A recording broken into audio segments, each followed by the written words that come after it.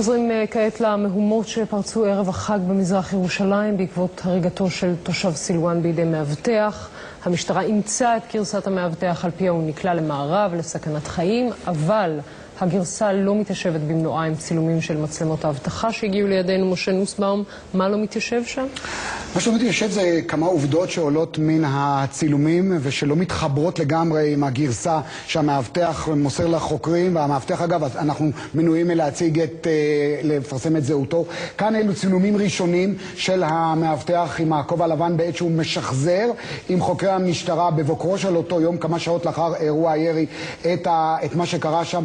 הוא טוען שהוא נסע עם אה, רכבו במרכז הכפר, הוא נחסם בפחי אשפה, הכביש נחסם, הוא לא יכל להמשיך לנסוע כך לדבריו, ולכן הוא נאלץ לרדת מהג'יפ, הוא נרגם באבנים, לטענתו הג'יפ שלו נתקע, הוא לא הצליח אה, להתניע אותו, ולכן, כך הוא טוען, הוא נאלץ לירות אל מיידי אבנים, מן הירי הזה נהרג אה, תושב הכפר. אלא שצילומים שאנחנו מקבלים ממרכז המידע חילווה, מרכז מקומי בסילואן, הצילומים האלה לא כל כך מתאימים. ראינו את הג'יפ בעת שהוא נכנס, הג'יפ הלבן בעת שהוא נכנס, כאן אנחנו כבר רואים תושב מקומי מיידי אבנים אל הג'יפ. השעה, שימי לב למעלה, ארבע בבוקר, ארבע ודקה ליתר דיוק.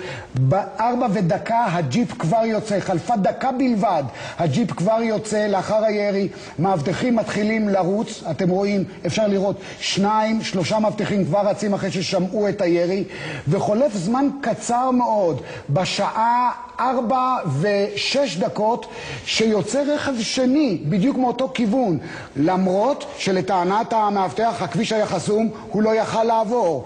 זאת, זה ספק אחד, האם הכביש הזה באמת היה חסום? הספק השני, כיצד בתוך דקה אחת, למרות טענתו שהג'יפ נתקע והוא לא יכל לצאת משם, בתוך דקה אחת הוא ירה והצליח לצאת מהמקום.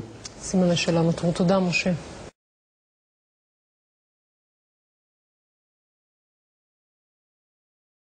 אה, מאבטח, עיר דוד, נקלע למערב מתוכנן של אה, פחי אשפה ומיידי אבנים.